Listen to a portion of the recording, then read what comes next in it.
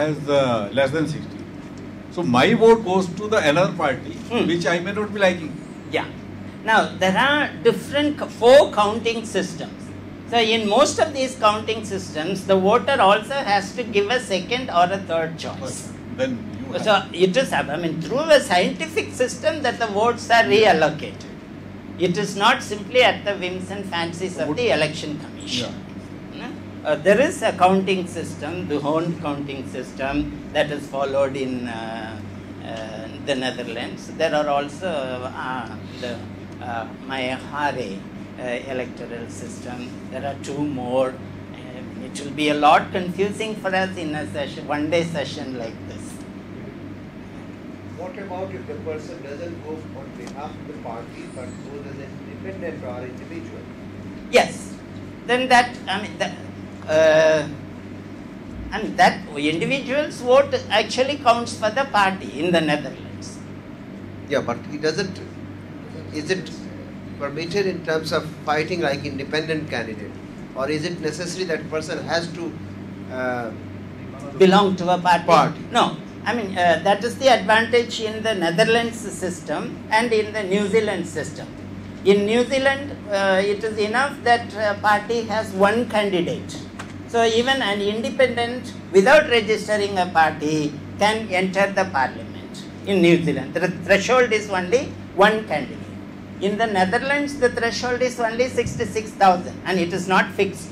The, the calculation is total votes divided by 150 seats. That will be the number. Generally, it is 66. And the uh, one candidate, without registering a party, but registering himself as an independent candidate, can contest the elections, but must get 66,000 votes. Uh, see, uh, but you are asking, suppose uh, he belongs to a party? No, please repeat the question. no, I think you have answered it. Okay. Thank you. Now let us come to India. Um, in India, we have uh, a long history of uh, choosing an electoral system, starting from uh, 1930s when the British wanted to give communal representation. They already foresaw that they won't be here permanently, so they wanted to give communal representation in governance. And so immediately we had a lot of demands for separate electorate. Baba Sahib Ambedkar also demanded separate electorate. The British gave separate electorate to the Muslims. We give a break or I should stop? Okay, I, I, I go fast, is it? Okay. So then uh, finally, okay, I shall leave that part. Finally, and, and the, the history starts from there. Then we have the discussions in the Constituent Assembly when we had to formulate our, uh, uh, our uh, uh, constitution.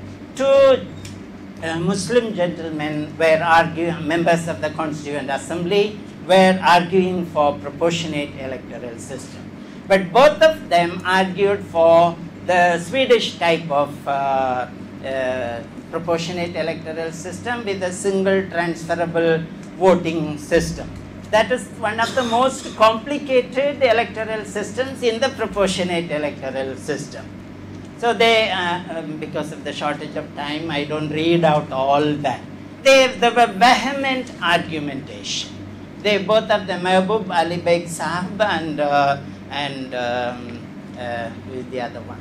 Vivek? Yeah, Karimuddin Sahib. Both of them were arguing for proportionate electoral system in order to enhance the representative quality of our democracy. But then there were also counter arguments, went on for a long time. But finally, Baba Sahib Ambedkar said, if this system, he particularly referred to the single transferable vote proportionate electoral system, if this system had to come to India, people will not understand it. Because at that time, the literacy rate of our country was only 15%. So he said, no, this will not be uh, possible in India. And so the final decision was to go in for FPTP system. But then finally, Baba Sahib Ambedkar in 1955 had a rethinking on his own decision. And uh, standing as the chairperson of the National Federation of the SCs, he passed a resolution on August 27, 1955, saying that what we need in India is not reserved seats, what we need in India is not separate electorate, what we need in India is an electoral system with a multi-member constituencies. This is a very clear resolution that he has passed and it is available in the first volume of his writing, right? In the second uh, part where he is speaking of the linguistic uh, states. In the manifesto book we have given the quote at the end. Next one. And the next one. Oh, we will run. Yeah, this is very important and I think probably we'll stop there. Common misgivings about the proportionate electoral system is many people during the, I have gathered this during the many conferences that we conducted in India. People have been asking me these questions. They say that it is good for European countries but not for India. I found that this was more in terms of a reaction uh, to Western uh, countries, but we need to see the merits of the proportionate electoral system without necessarily applying them to Europe.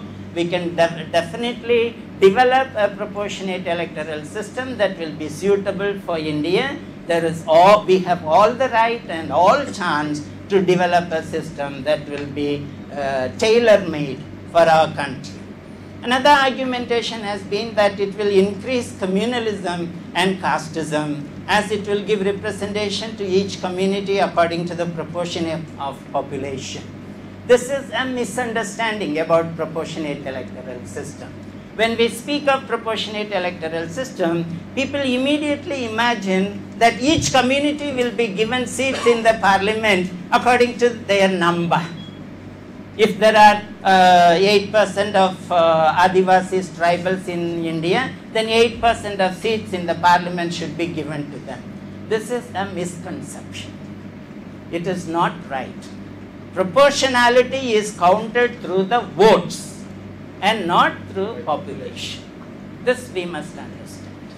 So therefore, uh, that argumentation is comes from a misunderstanding of proportionate electoral system. Proportionate electoral system is percentage of votes and percentage of seats and there it is. So parties, communities will have to really start their parties and increase the percentage of votes for their parties which will be hugely advantageous to their communities. But then the win-win situation and the bargaining power of each uh, party is what makes democracy meaningful. The third one is that it is a cumbersome process in India to change electoral system. Um, yeah, but uh, in India now from 15% of literacy we have come to 65% of literacy.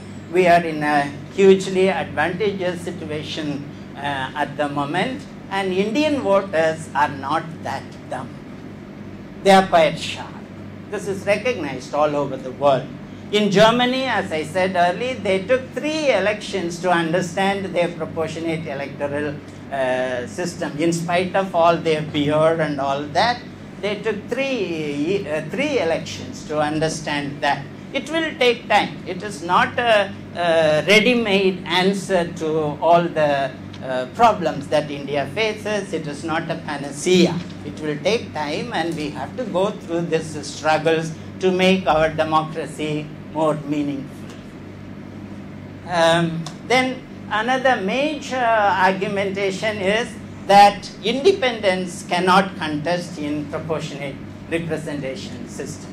I would agree, yes, this was the case years ago, but now many countries, because of this flaw, have changed their system to accommodate also independent candidates. Therefore, when we work on a system for India, definitely we can also see that independence have a chance. And there the Netherlands model will be a very good lesson for us to learn.